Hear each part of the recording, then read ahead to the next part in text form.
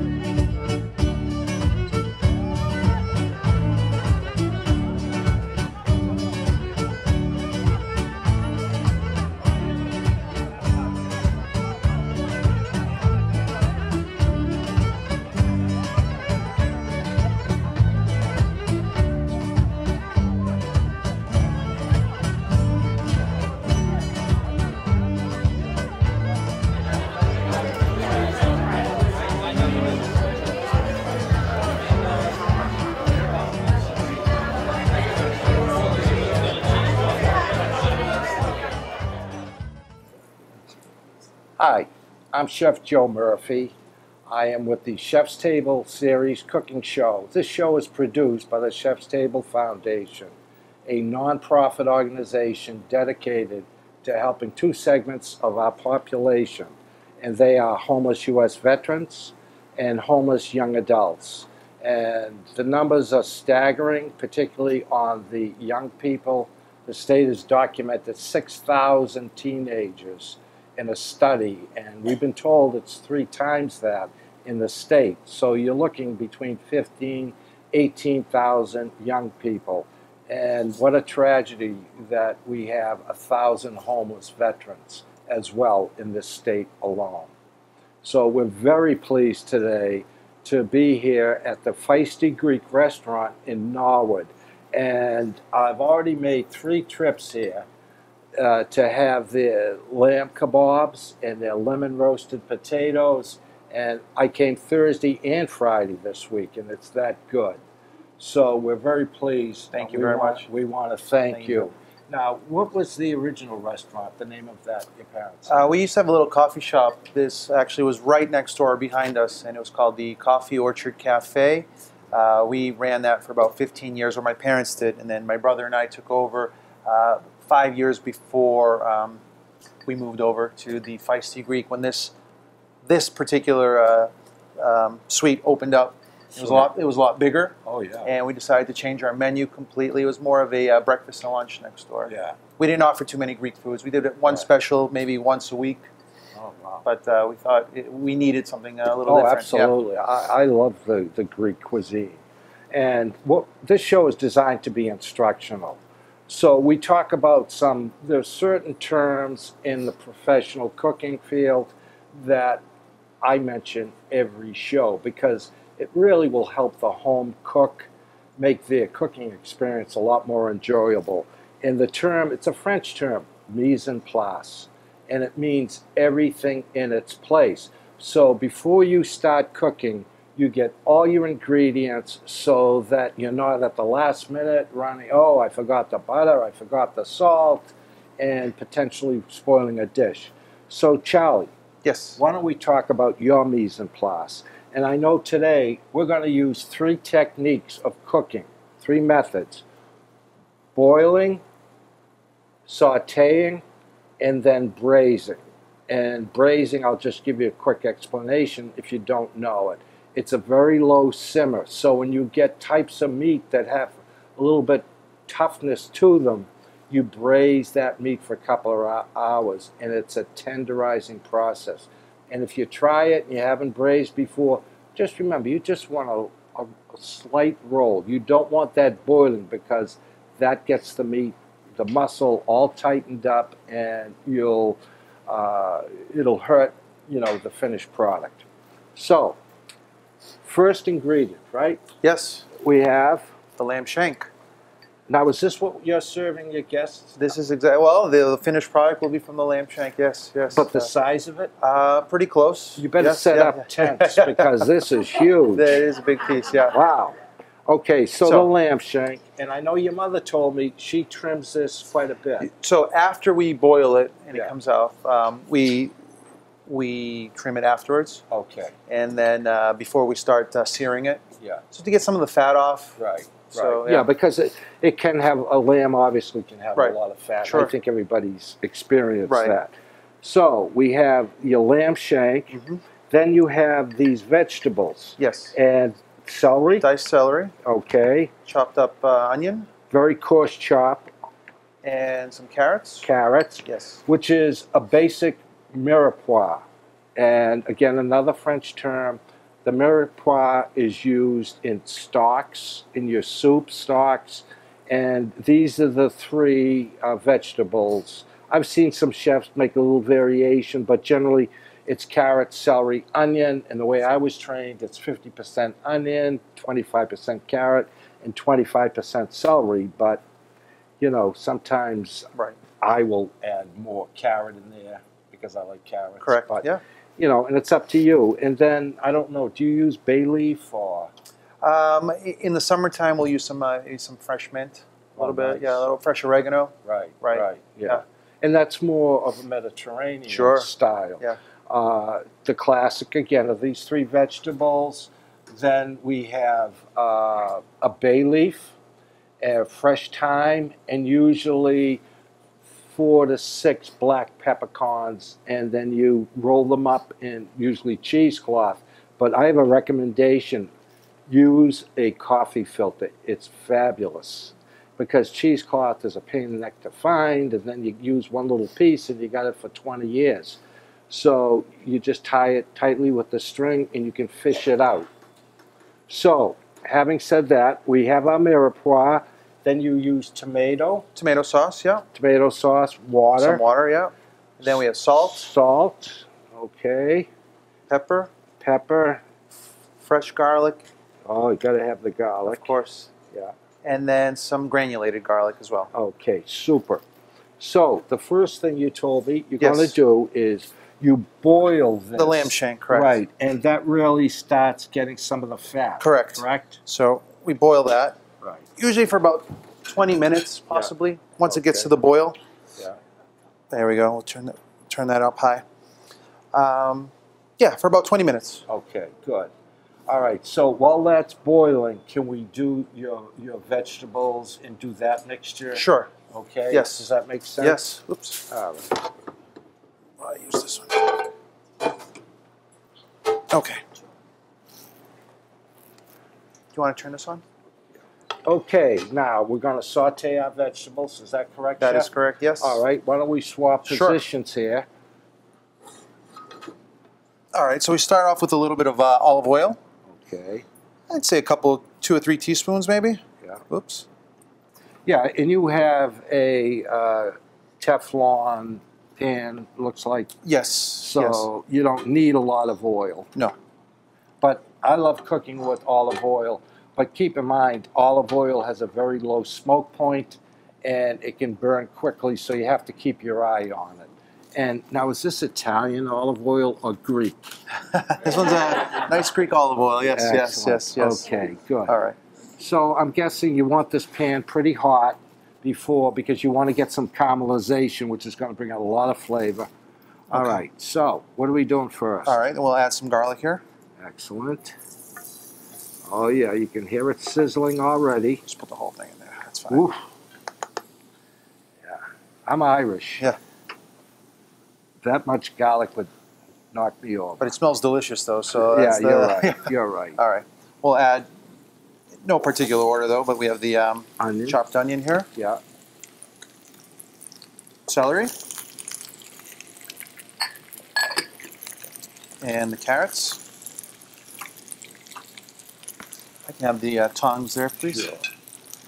And you know, while Chef is, is doing his mirepoix or his root vegetables with the garlic, You notice we started boiling the lamb shank first. So think through your cooking uh, experience because this will take 15 or 20 minutes of boiling, and that will give you time to make sure you have all your mirepoix and then start sauteing your vegetables. And at the same time, I like to add the uh, The wine. the white, uh, the red wine. Excuse me. Yeah. Now, you recommend, we talked about this the other day, or maybe I talked to you about any red wine. Any red like. wine, right? Usually, and this is what I've been told in culinary school, whichever wine you like to drink, don't be afraid to use that in your cooking. I don't like a sweet wine for cooking because that affects the finished product, but a nice dry red or white is good. Always a little bit of salt. Yeah. And, you know, remember, kosher salt, sea salt, works best because kosher salt is a much larger crystal. So when you're seasoning, you can control it easier than a table salt. And frankly, there's a benefit, a health benefit. A cup of kosher salt, a cup of table salt is about half the sodium because the crystals are so much larger, you're not getting equal weight. But the flavor profile, in my opinion, is much better than table salt, but whatever. So we're sauteing away here. Right. After we added the wine, we let it cook for simmer for uh, Yeah. a minute or two or three, Cook off the alcohol. Yeah. and then we add some of the tomato sauce right into the uh, right. the whole mixture here. Now, is that just a, a, a puree? It's is it a? It's not. This a, one's uh, the one we use here is kind of a uh, pasta sauce actually. Okay. Um, I don't know if I should. Uh, we use uh, an al dente. We get that from the the restaurant uh, supply store, yeah. and it has a nice flavor, very nice right, flavor. Right. Which is great. Yes. Yeah. Well, there's so many tomatoes. You know, Yes. it, it would be unusual to In the summertime, great. Use some, you know, uh, fresh, fresh tomato tomatoes and if you like. yes, Yeah. No, I, I they have. I use a brand that's not a retail brand, but there are some great retail brands out there, and uh, they do a great job with them today. So, all right. So the Now- the liquid is Yes. you've got the red wine, yes. and then you, do you add water? I, to that? that's my next step. Add a little bit of water as well, Okay. just to get that all going. Right. And it really, it just needs to get to a little bit boil because, in the end, when we braise it, it's going to cook for another Couple of hours. exactly. So when you're done with your braising, okay, so remember boiling, sauteing, and then the final step is going to be the braising. And that you can do it stovetop, but you really, you know, it has to be covered. So just make sure, it's like doing rice, just make sure you're getting a simmer in there. You don't want it boiling because it'll really make your meat tougher. Um, all right, now when this is done, Yes. do you ever serve that with these braised vegetables, or are they just uh, Just like this. I mean, when it's done out of the oven, all the vegetables will be nice and tender. It goes over the, the shank itself. nice? Yes, and we'll show that in a, in a few minutes. Okay, excellent. So basically, I mean, this is pretty much done. right, Uh, we'll just wait a few more minutes, or you know, the the lamb shank itself. right, okay. Uh, yeah. Now we I'm yes. we do have one other step. One more step will be the searing of the the lamb shank Okay, itself. I forgot that. Yeah. So, So, yeah, we can do that We now. sure. That's Okay, okay, with you, perfect. chef. yes. Um, but what I want to do is when you take this off, let's set it on top perfect. of this. oven. That way, there Let me grab these for you. we- it won't be Now turn this down just a little bit okay. while we're moving that around. All right. Okay, now we have another saute pan. Another saute pan. We'll add a little more oil again, just to. Right. There we Now I find Greek olive oil a bit more floury taste, which is nice. Go. Um, there's, I mean, the, olive oil comes from many different parts Oh, of Greece, and I, yeah, so each Yeah. region might have a little different uh, right, taste as well, for Yeah. sure. You know, if you want a pure Greek olive oil, a pure Italian olive oil, always read the label. If it says product of Italy, product of Greece, that generally will be your first indicator. That's a blend. And they can come from, the olives can come from Spain, Morocco, God knows where else. So I always read, I generally use the Italian olive oil, but I always look, if it says, I'm sorry, if it says packed, that means it's a blend. Product of, you're getting just olives from the particular country, the country of origin. And I think it makes a difference, but that's just me. Okay. Okay, so. Use this plate this- just for a second. It's on, yes. It's on, Okay, great.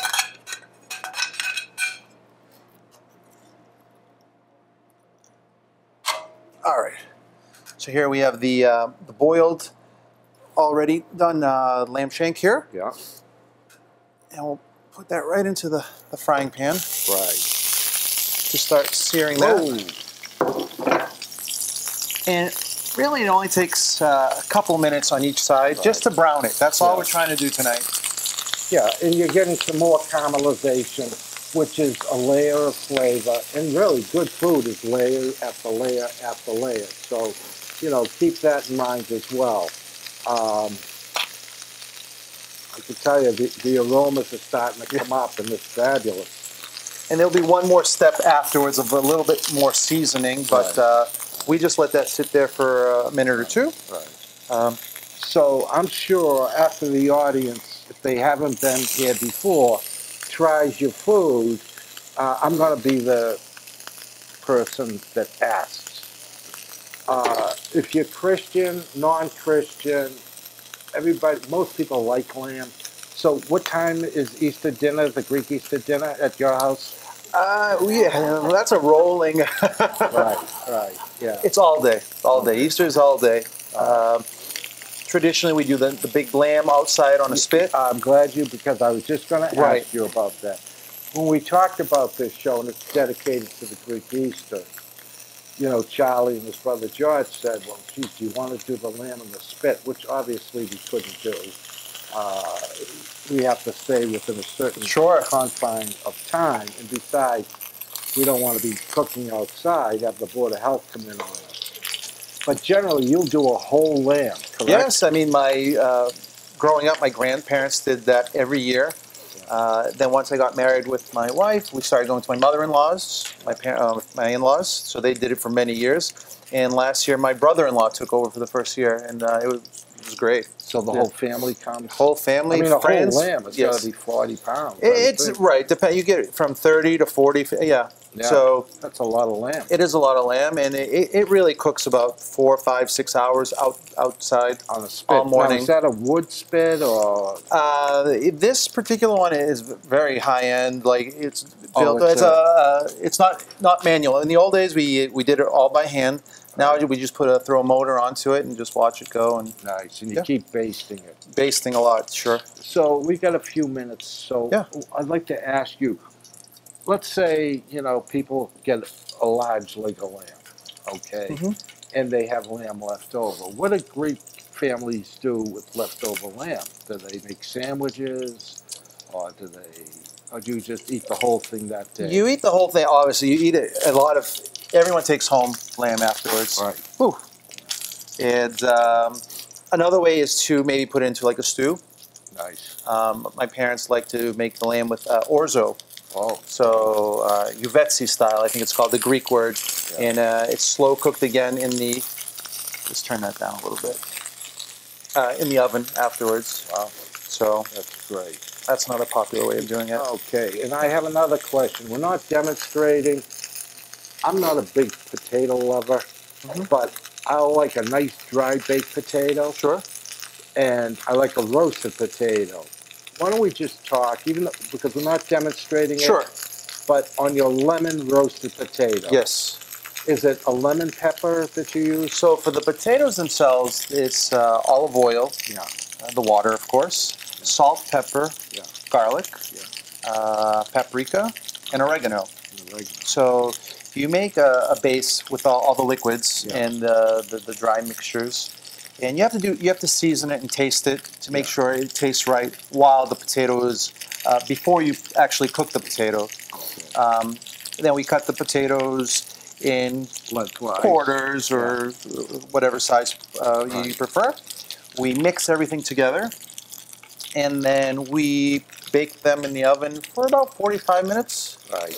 And then the water that they're sitting in, that Cooks goes, all cooks. cooks right yeah. down. And usually there's a little bit. You do want a little liquid at the bottom, sure. Because yeah. you get a nice, almost a sauce, I'm right, guessing. exactly. Now, I have a question because, as I said, I cheated twice this Yes, week. with the, They taste so buttery. That sauce. Is there butter added to there is no butter. It's uh, it's actually it's a vegan uh, uh, recipe that we use here because there are a lot of people that uh, Yeah. are, oops, that are um, Okay. not meat eaters. So. right, right. Okay, great. So, So that's pretty much done, I believe. I, we Yeah. flipped it over a couple of times there, oh, and yeah. as you can see, it has a nice color on the, uh, Yeah. lamb shank itself. And that color really is flavor. So uh, don't be afraid to do that. I turn that off now. Yes. So the last step before the the braising, I mean, is the. I lost it. There we go. Right, You have your your baking dish. right. We just put the lamb shank into the baking dish. Yeah. Add a little bit more salt right on top. Mm-hmm. Now, when you boil that, and I meant to ask you this, do you salt the water or not? Just regular water? Just regular water. No, we didn't Okay. salt it. No. All right. Yes. All right. And that, but that's it. Just a little bit of salt, pepper, and a little bit more of the granulated garlic. Okay. And then the last step is to add the mixture Right. right over the Right. over the lamb.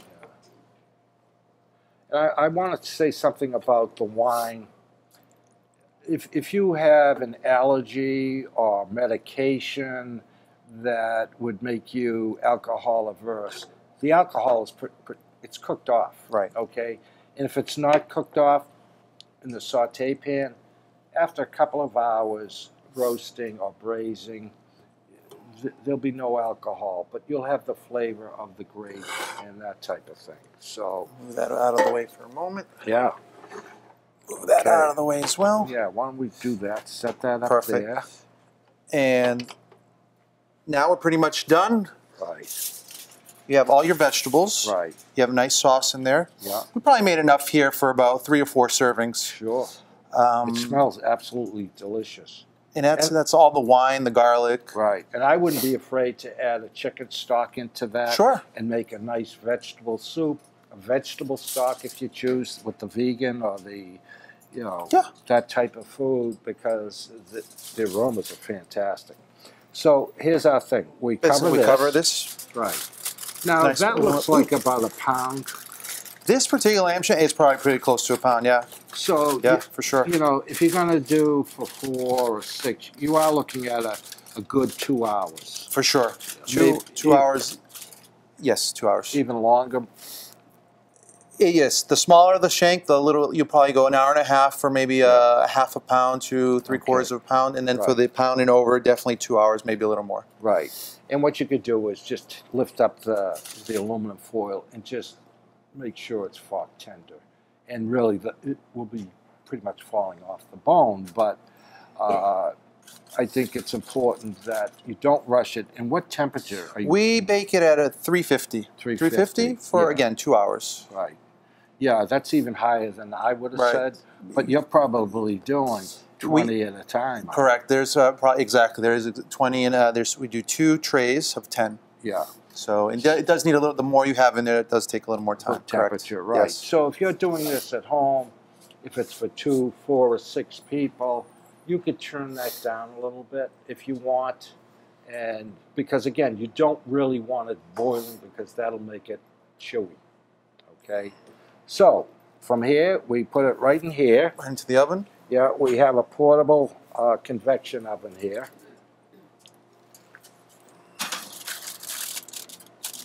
There we go. Okay. And again, you know, it, it's really not a lot of work.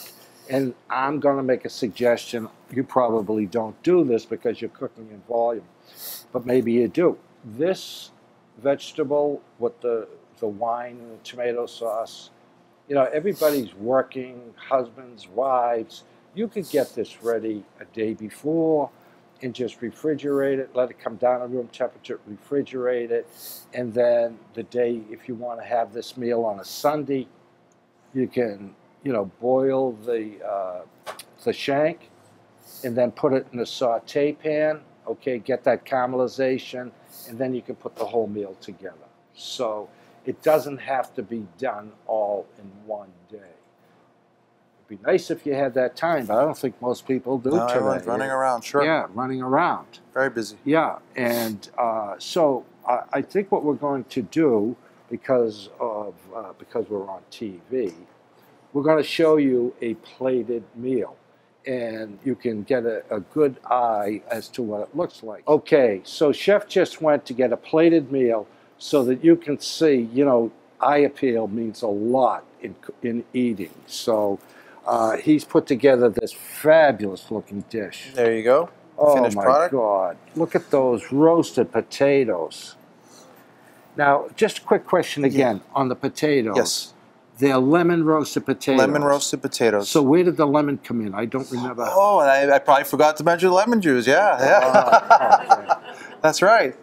So yeah, lemon juice and the water, the oil, Right. Okay. salt, pepper, garlic. Yeah. If you want to use, obviously, squeeze fresh lemons. Yes. You can do that. You could probably uh, use some of the zest if you want, a real, you know, a pronounced lemon flavor. Or if you want to use a bottled lemon juice, you know, use your own discretion. I always tell people when you're cooking at home, think in terms of the acronym TT. That means to taste. You know what your palate enjoys, your family, your friends. So you can always make adjustments to the way you like That's it. That's correct. Okay? And I like what you guys do. So Well, thank you very much. I mean, we do um, prepare for the masses, so you don't want it overly right. seasoned with the lemon juice or too salty. You could always add. You can't take away, right? Exactly. Yeah. And again, that's a good point. You know, a lot of times, don't over season in the beginning. Wait till that dish is finished. Then you can adjust salt, pepper, that type of thing, and uh, or those type of ingredients, I should say, and then you'll have your finished product. A lot of times now, I used to just you know throw it in, but you know over the years you learn you can always finish the product at the end when it's done cooking. So this has been a great show. Uh, I wish we had time to show you the baklava, which is fabulous here. and um but you know, there's only so much we can show. And this is really we're saluting the Greek Easter.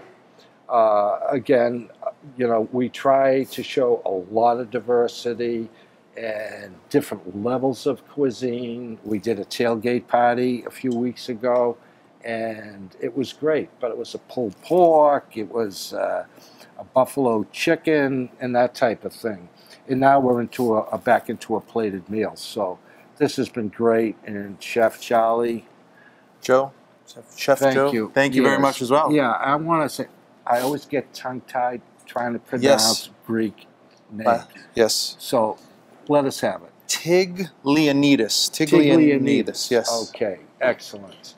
So this family again, very compassionate, very helpful to what we're trying to accomplish, and most restaurateurs are. There's just something about Right. you know, it's about come on in, eat, eat, you know, and, and they're always willing to help us out. So, and they are closed on Sundays here. Clo- that- so oh, that's that's important to know, in right? on a special day, you Right. know, to, to do this for us. So we're, we're very, very grateful.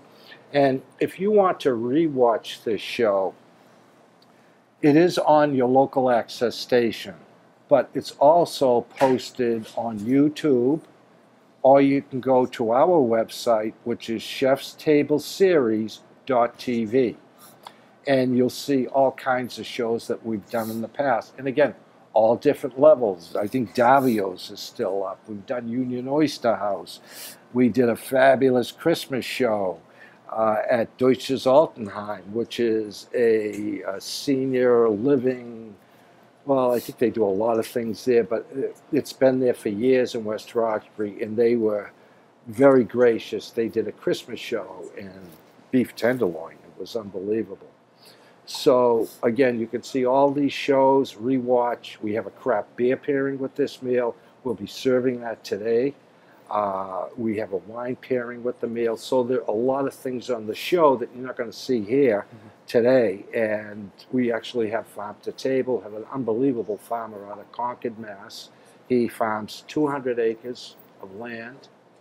And he almost knocked me over when I we were doing the tomato festival. I said, "Well, how many plants do you do?"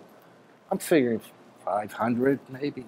18,000 tomato plants. I was like, "Oh my God!" So, anyways, again, we want to thank our audience and we want to thank you, the viewing public. And if you want to find out what we're doing, you can go to the chefstable.org. That's our homepage, and it shows you what, what we're trying to accomplish with our mission in supporting two segments of the homeless population. So again, thank you and enjoy trying this. And the recipe will be on there, and then you can watch the show, get your your iPad, your laptop, and then watch the chef. You can pause it and then cook along with them. Okay. Okay. Very Thank you. Chef Joe. Okay. All right. Thanks very you. much, Charlie. Okay. Thank you very much.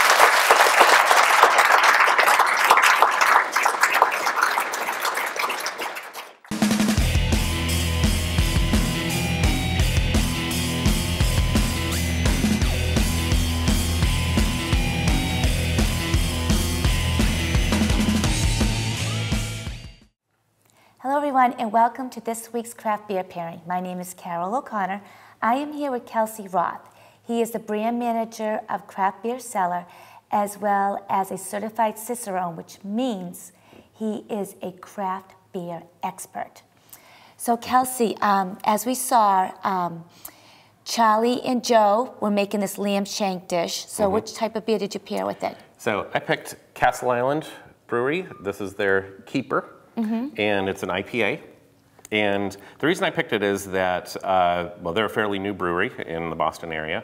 And uh, sometimes when we do beer pairings or wine pairings, even, we uh, look at flavor and intensity. And True, sometimes yeah. we, we match region. So we uh, will pair like a French food with a French wine or Right. something like that. Um, and so this time I went with location because uh, Castle Island Brewery are neighbors to the Feisty Greek. Right. And I know for on uh, you know on good accounting that uh, the brewers and a lot of the people who work at the brewery go to the Feisty Greek for lunch. Oh, nice. so. Uh, for me, it was a natural pairing. Uh, let's get these two neighbors who are who are friends and have a great relationship Mm-hmm. together, and pair their food and their beer together. Oh, perfect. Oh, let's try it. Yeah, let's try it. Um, so this is uh, an, an India Pale Ale, and the main characteristic of, of this style is going to be the hop character. So if you smell it, you can smell it smells kind of floral, Yes. um, a little bit of citrus. Um, and for me, that's going to go really nicely with the lamb shank. Um, also, the lemon mm. potatoes, mm. the roasted lemon potatoes, that kind of citrusy character in this is going to go really nice with Yeah, that. this is a great choice. So I have a question with mm-hmm. the beer. How come they called it Castle Island? Because that's, as everyone knows, well, if you don't, Castle Island is located in South Boston. Yeah. Um, so unfortunately, there's no room to put a brewery on Castle Island. Right. Uh, they are from that area originally. Oh, okay. That's why they chose it. Yeah, and they really wanted to kind of honor the the island Mm-hmm. and what it, the historical reference. Um, Exactly. But unfortunately, real estate's really expensive there, and to build a brewery there pr- didn't make sense Exactly. financially for them. So they they moved it to it's a really beautiful building. Mm. Um, and yeah, they're uh, honestly one of the breweries we're most excited about in this area to kind of keep an eye on them and see Oh, what they do in 2016. Oh, well, this beer tastes excellent, and I think it's a great choice to go with um, Feisty Greek's, you know, lamb shank or even the lamb kebabs. Yeah. Excellent. Very good. Absolutely. So, everyone, this has been the craft beer pairing of Feisty Greek's lamb shank, and I am Carol O'Connor. I am Kelsey Roth with Craft Beer Cellar. We're a proud supporter of the Chef's Table Foundation.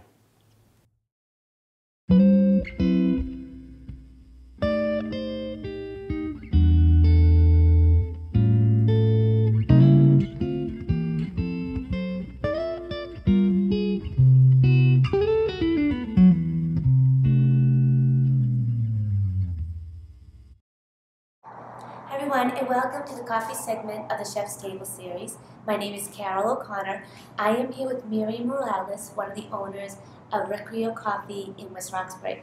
We're going to talk about brewing. There's all different types of brewing, correct? Yes, yes there is, especially today. Um, but here at Recreo, uh, we do at least five different methods of brewing. We definitely do the espresso uh, machine and our traditional just drip. Coffee uh, brewing. And you know that's using a machine that it's automatic, so you just press a button and the coffee comes and the you know gets brewed. But also here we have specialty brews. Um, we have three different ones here. We have the French press, Oh, I've had that. That's Yeah, delicious. which is my favorite Mhm. um, because I can tell it there's no filter involved. So the flavors of the coffee that come out in a French press are full body. Mhm.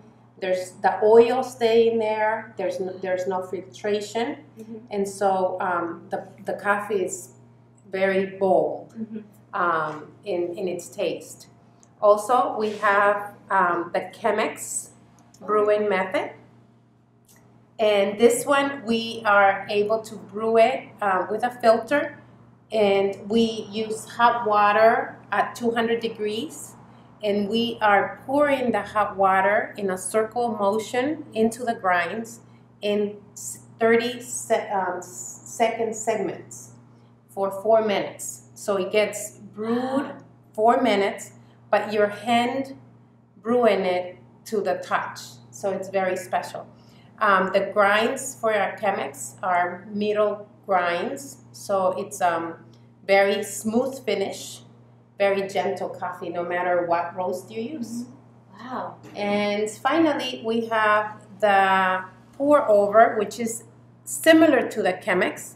The difference is that the grinds in a pour over are fine grind. Okay. So that means that it's more it's stronger, Mm-hmm. you know, because the coffee will be brewed um, completely. Oh, so it's stronger through here than to the um, machine Yes. behind you. Yes, but Oh. the, but the difference is it's smoother because the coffee here, you know, the water comes down, Yeah. it goes through it Mhm. at just you know at once.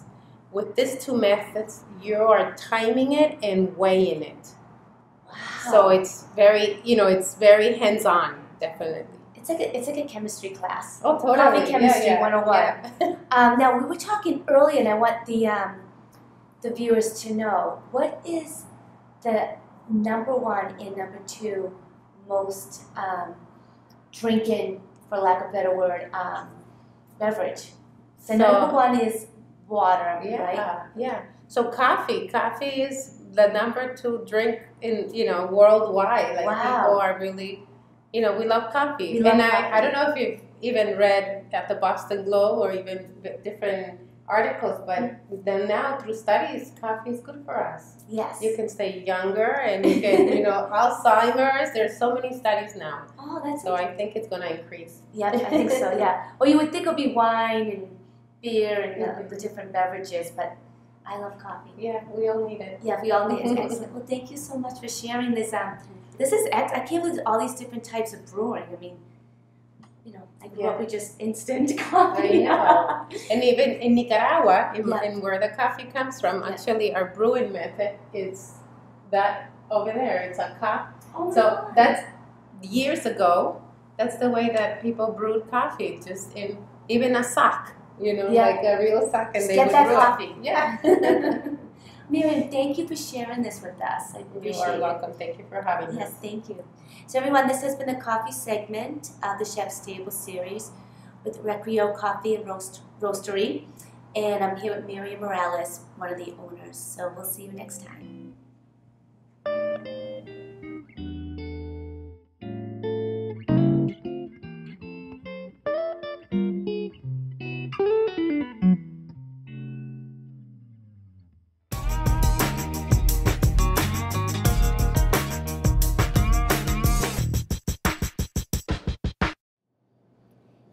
And welcome to the interview segment of the Chef's Table series. I am here at the Feisty Greek in Norwood, and with me is Charlie, one of the owners of the Feisty Greek. Charlie, thanks for being on the Thank you for having segment me. with me. Um, so you made this delicious Easter dish with Joe. Tell me a little bit about it. So typically around Easter time, we do like to cook lamb for Easter. Uh, today we did a lamb shank dinner where we prepared the lamb shank by braising it and uh, we, we served it with lemon potatoes and a side Greek salad this afternoon. So the lamb shank uh, consists of the shank with the tomato sauce, wine sauce with lemon potatoes and a nice Greek salad. Oh, delicious. That's like homemade cooking. Homemade, at, at its yes. best. That's excellent. Comfort food. Yes. Now, how long has the Feisty Greek been here? Because your family owned a restaurant prior to this, correct? Right. So we've been in this office park now, or this plaza, for approximately 20 years. Uh, the Feisty Greek is four and a half years old. We started off as the Orchard Cafe, which was literally right behind us. Yeah. We had that for about 15 years, Wow. which was a more of a breakfast and lunch spot, open Monday through Fridays only. And then we decided to change over our menu, and we came over and, and we created the Feisty Greek restaurant. I love it. So, how did you come up with the name? We polled all our friends. We were thinking of different names, and in the end, one particular friend she came up with the name, and uh, we, we, we fell in love with it. I think it's great. It's catchy, and you say it, and people are like, "Oh, I know that restaurant." Exactly. Yeah. Right. So that's what we were trying to think. Something that would catch on and people Yeah. would remember Definitely. And the logo, I love the, the logo. And it does explain, or a lot of Greek people are very feisty. So Yeah. yeah. Yes. Now, what other um, menu items do you offer here? One of our most popular menu items is our authentic pork gyro sandwich.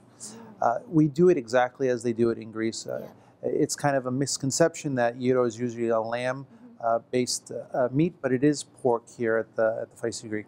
Uh, we also do kebabs of chicken, beef, pork, lamb, and shrimp. So popular, Yes. Kebabs. We serve uh, dinners with rice and potatoes, string beans. We have a lot of different uh, im- menu items. and you also have dessert. Desserts.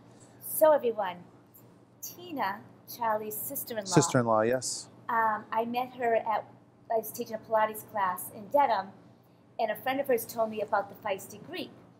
And then I came here, and um, her, her husband, um, George. George said, Tina makes the baklava. I'm like, I love baklava. I took two tonight. If there's more, I'll take I think you took. Joe's piece too. I did, no, he got, he got a third one. But um, it, was Yeah. ex, it was excellent. Thank you. Like, Thank you you. know, because your food's, I mean, Joe and I, Joe's been here probably three times. I've been here twice or three times as well. Mhm. But the food is just so delicious, healthy, and clean. We do pretty much cook everything ourselves. Uh, we take a lot of pride in what we do. We make the baklava almost daily, Yep, so good. and so it's very good. and it shows. I mean, Yeah. so many people Thank I bump you. into that Yeah. I'm not, don't even live around here know about it. Right. I think it's great. Thank you. Yes. So everyone, I have a little tip for you. So as you know, I graduated from Boston Latin School. Well, we have another Wolfpacker. he graduated in 1991. So Yes. the Wolfpack keeps going. All these strong, right? Yes, all Yeah. these different restaurant owners, chefs, and managers. So I think it's great. I wonder if I should open up one. Yeah. I'd rather eat at them than That's right. operate them. But Charlie, thank you so much. Thank you for having having us too. yeah, Thank we you. enjoyed having you and your family on the show, and hopefully we can do another one. Thank You you. know, maybe we Yeah. get George and Tina on. Definitely, you know? definitely. Get Amy as well. That's and the right, Kids. yes. I think that'll be fun. I think it'd be fun too. Yeah. Yeah. So everyone, this has been the Restaurant Interview segment of the Chef's Table series. I'm Carol O'Connor, here with Charlie, and we'll see you next week. Thank you.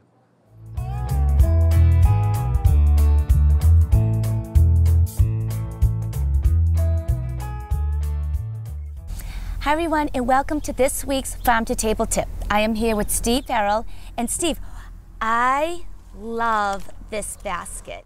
We use these for harvesting uh, tomatoes and a lot of other things. Mm-hmm. We also use it in our uh, CSA for the customers to come and fill the basket. What, what, quite is, a lot of what does CSA mean? well, quite a lot of farms in the area have. CSA. It stands for Community Supported Agriculture, oh, okay. and the concept is the uh, uh, customer will buy their share of product for the season Mm-hmm. in the spring and pay for it up front, and then come each week and get a ba- box or a basket of Oh, uh, I love the whatever's growing on the farm. Love it. and it works works very Oh, well. Oh, I'm sure. Yeah, yeah. I would come here all the time if I lived around here. but I live in the city, even though the city does have their own CSAs. So Yeah. you have some very colorful. Yeah, we Beets, today we right? talk about beets. We have beets. Quite a few different ones here. Ooh. There seems to be a trend with a lot of vegetables now of getting more varieties of things. Oh wow, Steve. We just get them out here. Mm-hmm. I love the orange ones. Never seen those before. I'm only familiar with the, the dark color. Dark red ones. Yes. Those are the most common. They've been around a long time. but beets are, are very versatile and uh, they're grown in most, no, especially most cool northern areas. Okay. And uh, the way we grow them, we start all of them from seed, except the very first planting. We'll start in the greenhouse and transplant in the uh, little plug trays we have, and that way we can get some one or two weeks earlier than the ones we direct seeded. But they'll germinate where it's quite cold, so they can be seeded outside, like uh, oh, early April around Oh, here. You could put some in. Now, And- um, and I noticed the greens. Do these have any values? The stems and the. Oh, I, I love the greens uh, Oh yeah. you know, as much more than the beets. Uh, if you're going to cook the beets, Mm-hmm. you can cut off the beets. Uh, well, if they're this size, you can probably cook it all together, but Oh no way. separate them, Yep. cook it all together. And uh, if the beets are much bigger, they take a little longer cooking time than you want the, the greens, so you cut them off. And then the greens are great either served just cooked like you would spinach, Mhm. or I, I like them better almost uh, for lunch the next day out of the refrigerator with some Oh. mayonnaise on them. Mayonnaise. Yeah, yeah, just beet greens and mayonnaise, cold. It's With- great. like with bread. no, no, just like- oh, beet sandwiches are good. Oh, Slice of cold beets and the bread with a little mayonnaise. and lettuce. a little piece of the lettuce. greens? There you go. Oh, that sounds Great, better. yeah. Wow, mayo.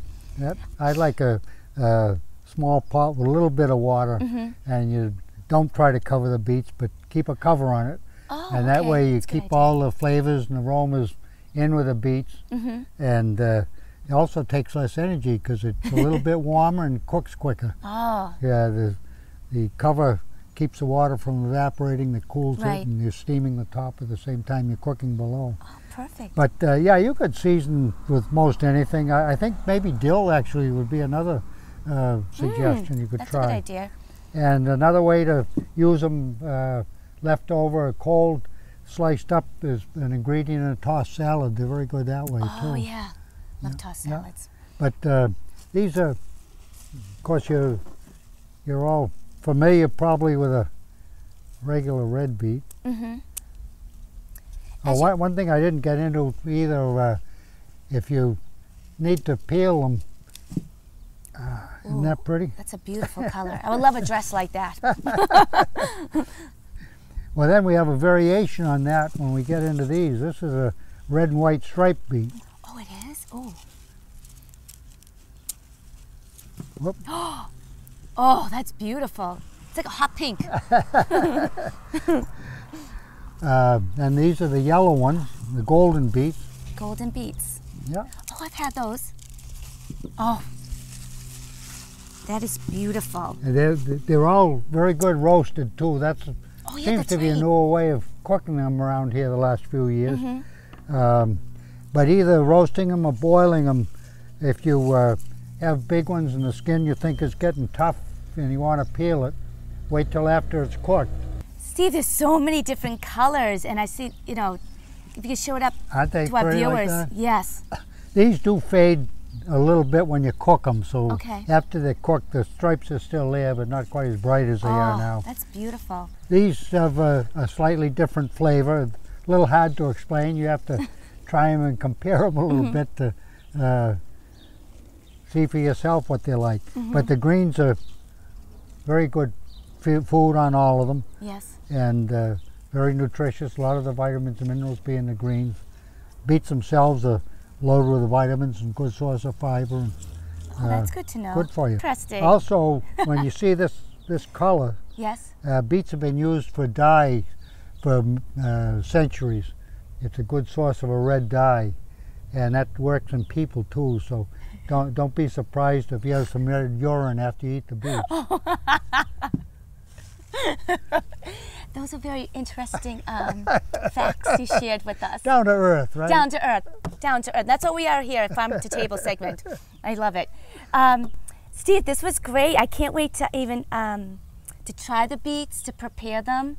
I never knew how they're prepared. I just really, I just thought the restaurant got it, cleaned it off, chopped it, and put it onto my plate. But there's a, you know, it's either steamed or it's broiled. That's really Right, interesting. yeah, yeah. So I hopefully you'll take me back to your kitchen and make me some. Okay, we'll do that. So everyone, this has been our farm to table segment of the Chef's Table series. I'm Carol O'Connor. And I'm Steve Verrill of Verrill Farm in Concord uh, on behalf of Chef's Table Foundation.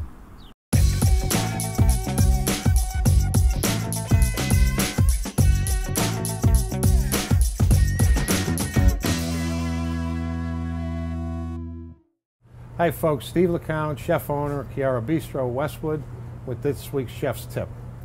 Uh, this week I just wanted to talk about brining. Now brining is very popular around Thanksgiving time where people always ask me, should I brine my turkey or not? I always say yes. It doesn't hurt the product, but it's also very popular year round where you can use it for pork ribs, pork loins, tenderloins. Uh, this particular brine I'm going to show you is very well suited for poultry and pork.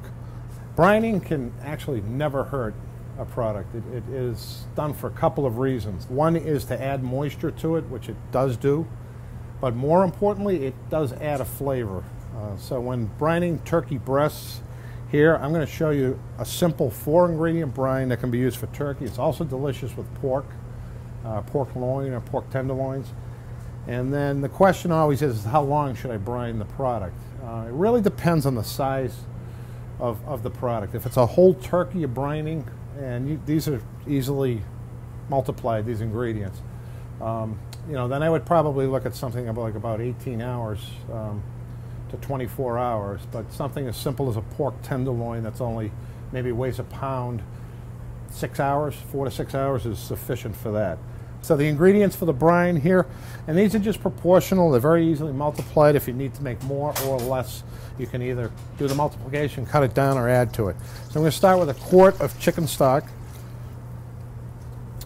And rather than using salt, now I know a lot of people use kosher salt in brines, and I've heard from people, one of my customers just told me, oh, I brined a turkey and it was extremely salty. Uh, rather than salt, I like to use soy sauce because it will give you the sodium uh, you know, that's required in brining. Um, but at the same time, this will help to add a nice rich brown color to the to the finished product. So I'm going to do two cups of soy sauce, one cup of a really good grade A maple syrup, and then a half cup of dark molasses, which is left out of room temp because you know the old cold molasses saying. Okay, and it's really that simple. So it's four ingredients. You're going to whisk that together, and you just pour this over, over your pork tenderloin, your pork ribs, whatever meat or poultry that you're trying to flavor, and it's that simple. Uh, now this would do probably like three to four or five pounds of pork. If you were doing a whole turkey, you might want to double this recipe. And if you're doing just a couple of pork tenderloins, you might want to cut it in half. But none of the ingredients are too expensive. Brining is a very inexpensive way to add flavor. And hopefully you'll be trying that and try it before you grill some items too. It, it really adds that extra dimension of flavor. Thanks for watching. That's this week's tip. So the lamb shank uh, consists of the shank with the tomato sauce, wine sauce with lemon potatoes. Nice if you had that time, but I don't think most people do today. everyone's running around, sure. Yeah, running around. Very busy. Yeah.